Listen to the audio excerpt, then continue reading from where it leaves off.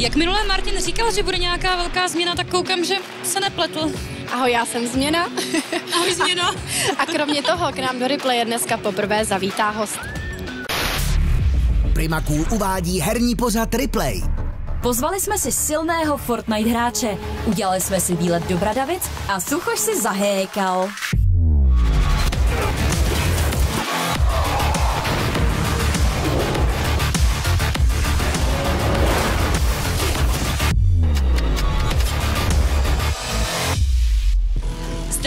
Vás, hráče a hráčky, u dalšího dílu Replay. Dneska se můžete těšit na velmi netradičního Fortnite hráče Martina Gabka. A potom... Pak si Šimon se Suchošem zahrajou Untitled Goose Game, což je taková Šimonova srdcovka. A já mám trošku podezření, že mu to Suchoš hrozně poplive. No, ale nejprve se půjdeme podívat na toho Martina, jo? Tak jdem na to.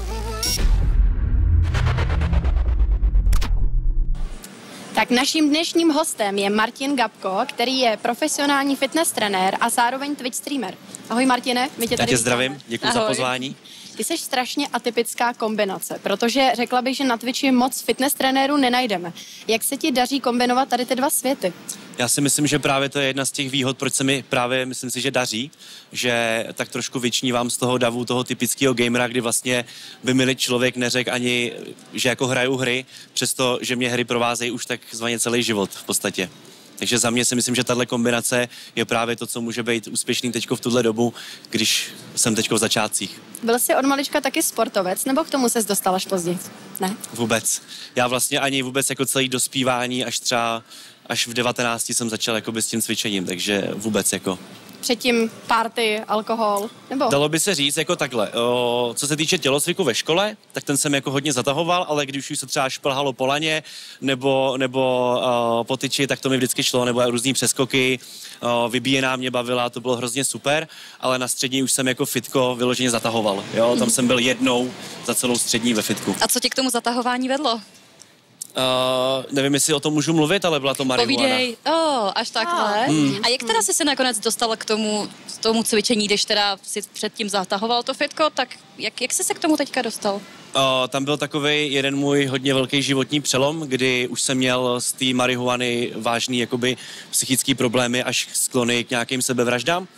V tu chvíli jsem jako uslyšel hlasy, bylo taky hrozně psycho, je to zvláštní, ale člověk může mít z té trávy o, takovýhle nějaký poruchy. Psychózy. Hmm. A v tu chvíli jsem si vlastně řekl, slyšel jsem hlasy, které jako říkali, hele, můžeš dělat něco víc, než se flákat. A to byl ten můj přelom. To, Wow. Je to hrozně zvláštní, je to, je to fakt zajímavý tohleto. A mlu- mluvíš o tom třeba na streamu? Motivuješ tě, eh, nějaký lidi, kteří by třeba na tom mohli být podobně? Protože věřím tomu, že určitě by se hodně lidí mohlo jako nějakým způsobem stotožňovat s tímhletím příběhem a mohli by pak třeba na sobě chtít víc pracovat. Takže mluvíš o tom nějak otevřeně? Snažím se. Mm-hmm. Snažím se o jedna z mých věcí, která je, si myslím, moje přednost, jsem hodně autentický, že je mi fakt jako jedno, co si o mě kdo bude myslet. Samozřejmě o, záleží mi na mých blízkých, co si o mě myslejí, to je důležitý, ale co si o mě bude myslet nějaký random týpek, který ho vůbec neznám, jenom protože řeknu, že tráva je špatná, tak je mi to úplně jedno. Je to můj názor, je to to, jak to vnímám, já jsem si tím prošel a jsem si vědom toho, co to tomu člověku může způsobit. Takže ano, snažím se i ty lidi vlastně směřovat k tomu, že to není vyloženě jenom seď doma, hraj hry, nic nedělej, ale snažím se je motivovat k tomu, aby jedli zdravě, dodržovali pitný režim, aby samozřejmě si zahráli hry, ale k tomu to vykompenzovali nějakým sportem. Další přestavba je hotová. Svoji novou pětici ve hře Counter-Strike Global Offensive odhalila organizace Entropic na tiskové konferenci ve Vodafone Playzone aréně. Tým vlastněný Martinem Kabrhelem vítá tři nové střelce a zkušeného kouče. K manšaftu se přidává i Michal Snečí Rucky, jenž v minulosti reprezentoval slavný polský tým Virtus Pro. CSGO celek zároveň ztrácí přízvisko Prague a vrací se k samostatnému názvu Entropic. Konec. Fnatic po pouhých třech týdnech končí v zimním splitu nejvyšší evropské soutěže v League of Legends. Poprvé v historii se slavná organizace nepodívá do playoff LEC. Se skóre 2 ku 7 skončili Fnatic na předposledním místě. Jde o zdaleka nejhorší výsledek, který kdy tým zažil. Za tři měsíce propadli z účasti na světovém šampionátu až na deváté místo v Evropě. Adam Neofrak Zouhar si očkrtává další velký milník. Bývalý hráč Sinners se po loňské účasti na Majoru může radovat z postupu na legendární AIM Katovice. Podařilo se mu to jako vůbec prvnímu českému hráči v historii. Ani Tomáš Oskar Šťastný se nikdy na hlavní katovický turnaj nekvalifikoval. Neofrak si v Polsku zahraje o celkový price pool 22 milionů korun a v případě triumfu by si jeho tým přišel na necelých 9 milionů korun.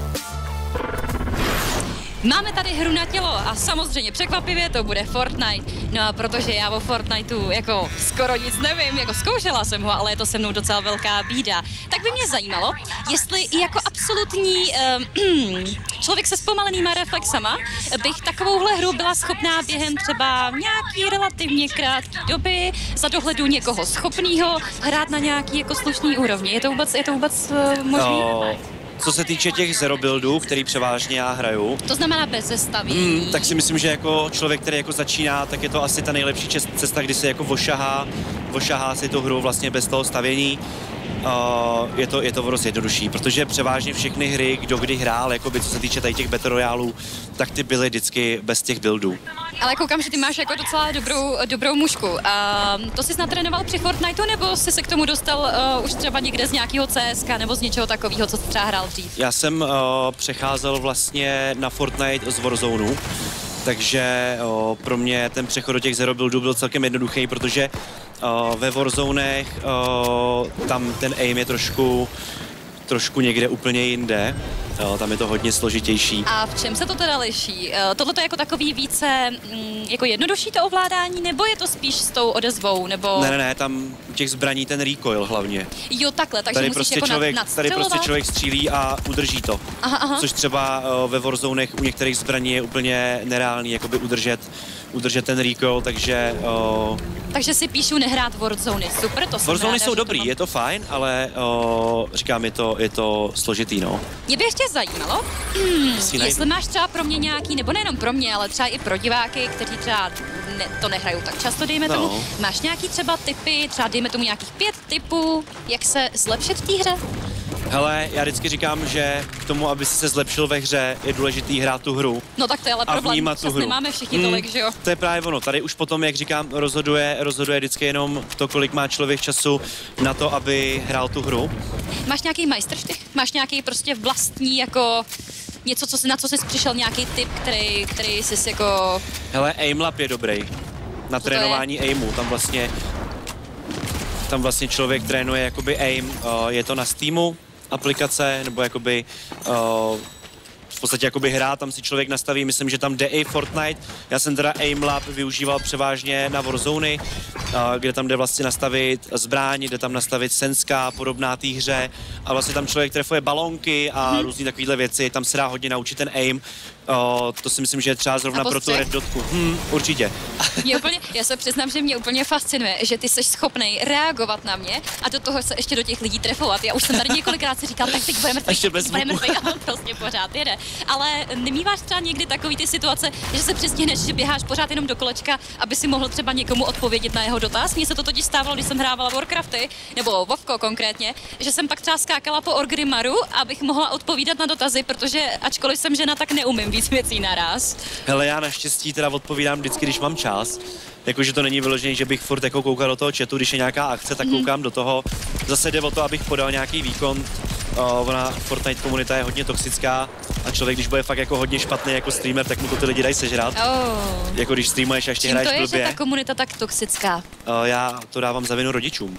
Jo, takže si myslíš, že to je tím, že tam je velké množství mladších diváků, Hmm. kteří prostě to ještě nemají úplně jak to říct, no, ošefovaný ty, ty, řekněme, emoce. No, spíš si myslím, že prostě ty rodiče to mají tak, že to dítě vezmou, dají mu počítač a hraje, víš co, a nezajímá mě, co děláš. Já mám pocit, že dneska ty děcka opravdu jsou chudáci jako zavřený vyloženě u, u toho počítače a někteří prostě neznají jako nic moc jiného. A pak se to právě třeba odráží i na té i na té komunitě. Aspoň tak se mi to zdá, že pak je to přesně takový, že mm, jsou schopní ti napsat jako určitý velmi, velmi ošklivý věci. A nejenom tobě, ale jako celkově i mezi sebou tu komunikaci pak mají to. Ty jsi to, ty jsi to vyhrál? No, ale první hra je s botama, takže to asi nebyli ani hráči. S botama? Hmm. Jako, ale ne s tady těma Ne, ne, botama. ne. s botama, co jsou ve hře, no, takže... Počkej, takže teď jsi vyhrál, ale vlastně zas tak moc machrovat nemůžeš, protože jsou to jenom tupí Ne, lidi. tohle nebylo nic v podstatě. Tak to vystřihneme, necháme to, ty si vyhrál. Jo, dobře, ty, no tak to já bych nezvládla. Ale tak ty lidi to budou vědět, že jsou potíži, jo, to je poznat. Tak máme tady další část a to je hra na pravdu. Princip je velmi jednoduchý. Já ti budu pokládat otázky a ty mi na ně zkus rychle a ideálně pravdivě odpovědět. Dobře, Jo, jsi jdeme na to. připravený? Mm, jsem. Čím jsi chtěl být, když jsi byl malý? Oh, chtěl jsem testovat hry. To ti tak trošku povedlo vlastně. No, asi jo, doufám. Dobrá práce, plníš si dětské sny. Jakou rebelskou blbost si udělal jako teenager? Klidně jich může být víc. Vloupal jsem se do školy a ukradl jsem tam nůžky a izolepu. A když jsme odcházeli, tak tam byl hlídač, který nás pak naháněl a naštěstí jsme utekli. A další, eh, že jsme zapálili koš před školou, eh, od toho mám tady jizvu na ruce a kamarád, který ho tam načapal chlápek, seřezal ho proutkem, tak měl eh, pěkný jizvy po těle potom. Šel až k soudu ten pán. Co ti říkají anabolické steroidy? Momentálně už vůbec nic, spíš negativa. Kolik máš nahráno ve Fortnite? Tak to bych lhal, kdybych řekl nějaký číslo, ale hraju to zhruba 6 měsíců, 4 hodiny denně, tak nevím, kolik to může být. Rychle, rychle to spočítej, já jsem na matematiku špatná. Vůbec, vůbec nevím, já nevím, budou to stovky hodin, nebudou to tisíce ještě. Tak jo. Co bys poradil svému já ve 12 letech? Nekuř trávu. Rozumný. Co je taková věc, kterou jsi zkusil a už ji nikdy nechceš zopakovat? Uh, šalvě je divotvorná.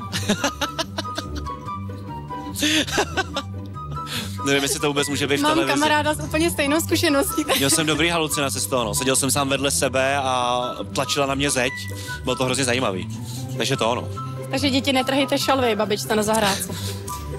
Co je taková věc, kterou ty máš rád, ale ostatní většinou ne? Nepít alkohol. Ty máš rád nepití alkoholu. No, jakože já nevím, co jiného bych mohl mít rád, co nikdo jiný nemá rád. Nevím, třeba drcení se na tréninku až do extrémních bolestí, to se To většinou má lidi neužívá. spoustu lidí rádo, víš, jakože Masochisti trošku. asi, asi možná, asi, asi by dalo i tohle se jako vzít, že jako tvrdý trénink, nebo nevím. A poslední, jakou nejšílenější věc si udělal pro peníze? Poslal jsem nahou fotku týpkovi.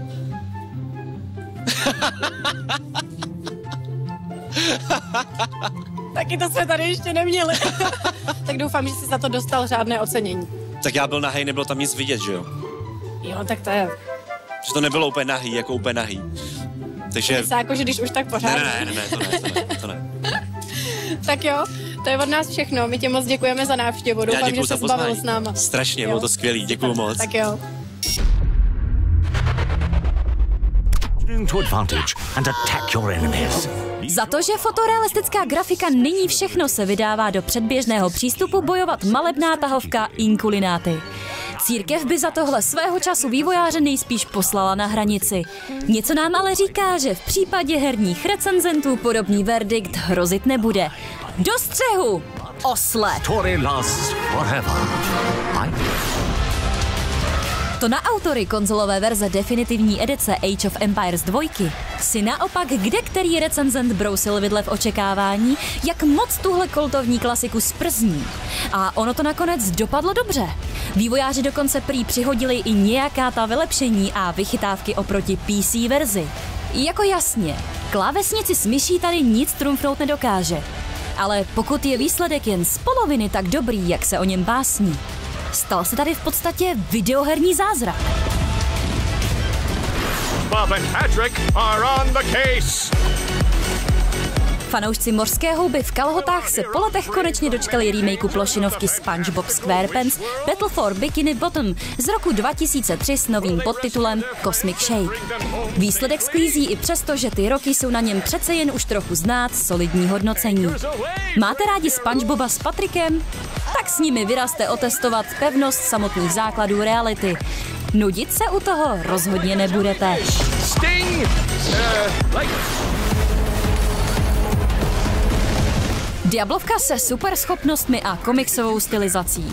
Supervoice dorazil na počítačích do předběžného přístupu a stát se v něm pokusným králíkem, který zachrání lidstvo, vypadá na ideální způsob, jak si ukrátit čekání před čtvrtým návratem pána teroru. Nebo spíš jeho neteři. Pustit se do něj můžete až ve čtyřech. go time. Let's get to work. The Pathless od autorů relaxačního Abzu jsme v době jeho vydání na PlayStationech a počítačích vychválili až do nebes, ve kterých se jeho hlavní hrdinka s pomocí svého orlího společníka vznáší. Teď tohle nádherné dobrodružství dorazilo i na Xboxy a Nintendo Switch a konečně si ho tak můžou užít majitelé všech hlavních herních platform. My mu svého času dali devítku, takže byste si ho rozhodně neměli nechat ujít. Dámy a pánové, vítejte v Boomer Gamingu s Michalem Suchánkem. Michale, mám tady velkou srdcovku. Tohle je hra, kterou jsem jako vyloženě miloval. Vznikl na ní můj merch. Je to prostě, je to boží. Michale, je to boží hra. Jestli, jestli to budeš říkat, že tě to nebaví, tak já končím. Takže máš konečně výmluvu, veď? Ano. Já jsem tak husa nebo kachna, nebo co to? Jsi Ty husa? jsi mi neře... ty, ty, ty, mi nikdy neřekneš, o co jde, jako. Že ty to znáš a máš pocit, že všichni musí vědět, o co jde, a já to nevím. Ne, já si jsem myslím, že tady to- na té hře je totiž nejlepší to, že ty zjišťuješ, o čem ta hra je. Jo? Ty jsi prostě husa, Michale. Já jsem kráva hlavně. Stisněte a použijte svůj zobák.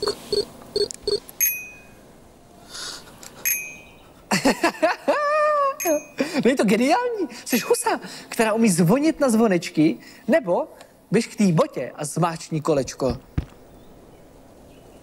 No,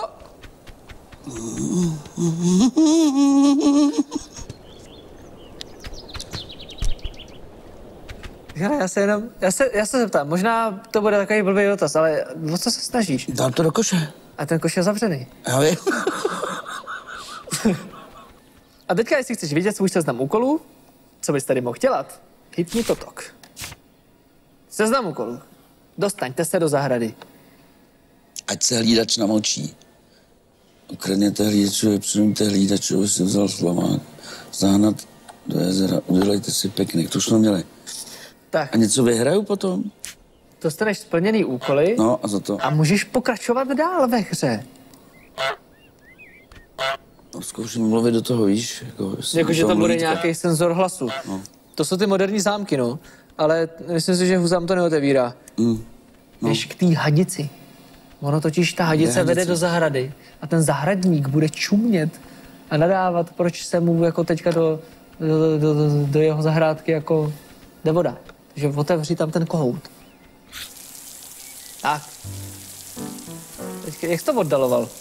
Hele, vidíš, zahradník už jde. A co? A běhni tam. Kam? Vlítni mu do zahrady. Já jsem zapomněl, čím se běží. Aha, já jsem to věděl. Dovnitř. To je taky rychle, jak svině, ale zahradník. A splněn první úkol. Okropte zahradníka, ne? Tam bylo. Je několik možností, co můžeš Dobře, udělat. tak vemu ho, Jo? tady ho vemu Můžeš mu rejčem. ukrást třeba klíče, hodit tady k tomu a potom to jít rychle zapnout, aby se skropil ve chvíli, co, to, co bude hledat ty klíče. Ale když nevím, čím se brali ty klíče. Vidím, ale nevím, čím se brali. A, a, a, a jsem se v obedínku. Má z tebe respekt. Tak mu vem mrkev třeba a odejdi. Mrkev? Jo, vyt- vytrhni mu mrkev, to určitě půjde. No, no, no, no, no. A jsem, já chci být kolečko. blíž. Teďka, utíkej z mrkví. Kam? Uť- Někam, Já už jsem zapomněl, čím se běhá. Ale mě, já běžím, co to jde, ty vole. Mě dobrý, dobrý, dobrý. Hele, vidíš, tak teďka víme, že ten blboun si vždycky musí dojít pro svoji mrkvičku, takže takhle ho můžeš zlákat. Co mám dělat? Dobrý, dobrý, tady ji polož, tady ji polož. A zdrhej, zdrhej, zdrhej, a běž zapnout tu vodu. Rychle běž zapnout tu vodu, než ten blboun si ji vezme. Hodem, hodem, hodem. Já zase, zapo- já zase nebudu... No, no, no, no, no, no, kolečko, kolečko, kolečko. Yes! Vypadá, jako když se počůral, počůrádek jeden. Co, já bych se raduje z drobností už. Ale, Michale, já když se, nez, když se neradoval z drobností, tak jsem tady celou dobu jenom naštvaný. já bych tady jenom pěnil a prskal a nikdo, nikdo by si to neužil. Ale já jsem Ne, se ne, já naučil nechci, já radovat. jsem si to zavřela. Zapni mu rádio třeba, možná přijde kvůli tomu rádiu. Teďka to čapni. Já nevím čím. Zabiju. No, ty to hraješ už A dobrý co, 20 no a co mám dělat teďka? Teďka to hraje. Dívej, ale už, to, už ho to ruší. Už jde otevřít ty dveře. běž s tím do vody, běž s tím rádiem do vody. Počkej. Se nech- To upadlo. Ty máš normálně respekt za zahradníka. Co? Co po mně chceš? Hraju to jenom kvůli tomu tvýmu merchandisingu, ty vole, že vyrábíš husy, ty vole, nebo kachny, nebo co to máš, ty vole. Tady to jsou tvoje úkoly. Ukradněte hlídačovi klíče. Čel hlídačovi? To, se, to je, se rozumí jako ten... hlídače, aby si vzal slamák. To není, to není ten. Nebuď sráp. Zdre! Počkej, jak, jak jsi běhal? Jak jsi běhal? Jak jsi to se stalo přesně mě, když mi vypadlo rádio. Že jsem chtěl běžet a pustil jsem rádio. No on na to totiž upustí ve chvíli, co se přiblíží. Hospoda se jako léka. Blbost, ne? Ne, Ježiš, ne. To, že, jako, že neběžíš s tou věcí v, v zobáku? Jo, jo. Klíče. Troubo. Zdračky. no, co budeš dělat teďka, ty mamlaso? No veď ho do té vody, no. No, já mu je utopím. Já mu utopím ty klíče. No, pojď. Máš ho na Aha, bokře. hluboký, co? Počkej, a já je teďka pustím. Jejda. Jejda. Mají ty klíče plavou. Se nedá dál. Ale v pohodě. Já myslím, že zahradníka jsme tady potrápili. Já jsem mu tady rozházal všechny věci. Chceš, chceš ještě něco říct? Mám tě rád, i když seš bordelás a hraješ stupidní hry. Já jsem se ptal ty husy, já jsem hledal, Ah. co, co... Pardon.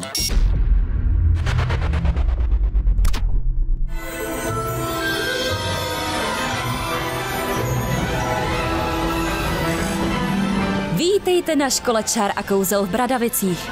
Nečekejte tu však stále se usmívajícího ředitele Albuse Brumbála nebo vážnou, leč spravedlivou zástupkyni profesorku McGonagallovou. K naší neskonalé lítosti na jeho chodbách nepotkáte ani samotného Severuse Snape'a. Místo nich v čele téhle skvělé školy stojí jeden z nejméně oblíbených ředitelů, Phineas Nigellus Black. Po jeho boku najdete profesorku Weasleyovou a ve sklepení zase docela sympatického profesora Sharpa. Protože taková už byla historie. Hogwarts Legacy je jedním slovem dechberoucí. A ne! To je... Ne! Takhle ne!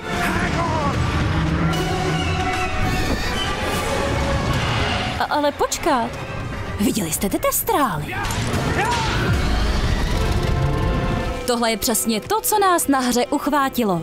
To, jak skvěle dokáže světu Harryho Pottera vdechnout život. Ať už jde o broukající si brnění,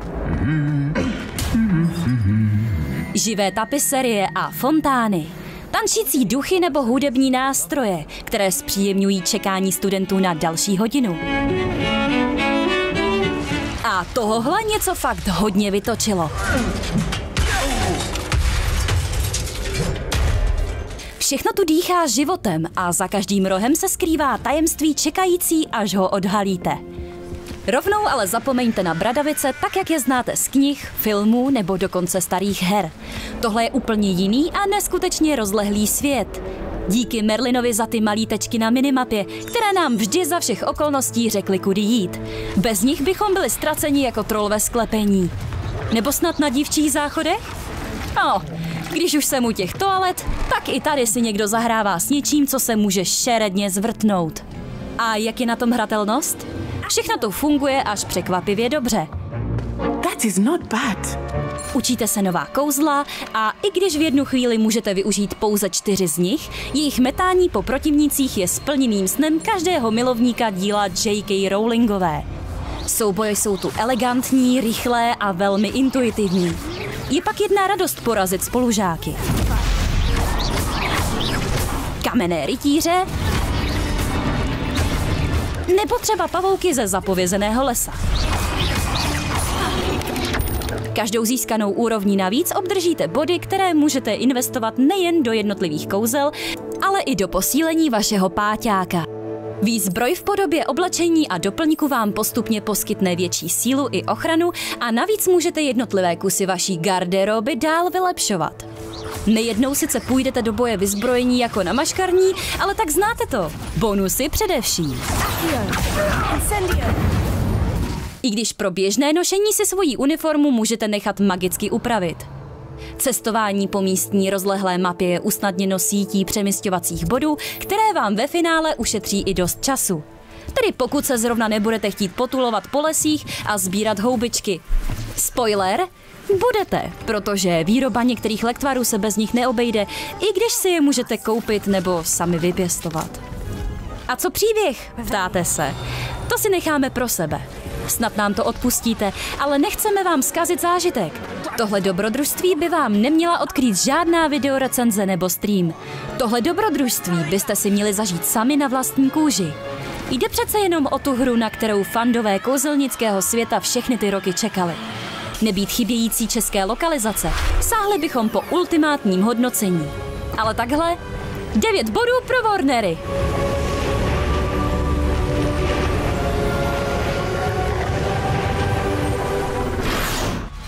Sedí se vám dobře? Ne? Tak si pojďte sednout.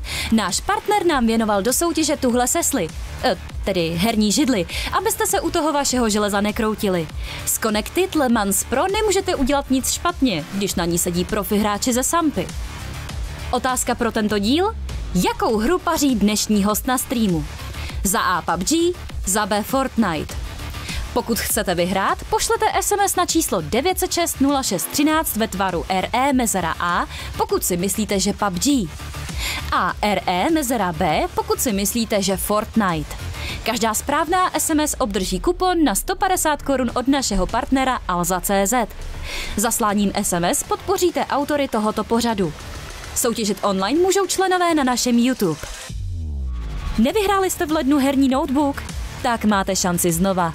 V únoru hrajeme o notebook Acer Nitro 5. Jedná se o 14-jádrový procesor Intel Core i7 s vysokou frekvencí až 4,7 GHz, 15,6 display, 165 Hz s 16 GB RAM a grafickou kartou Nvidia GeForce RTX 3066 GB.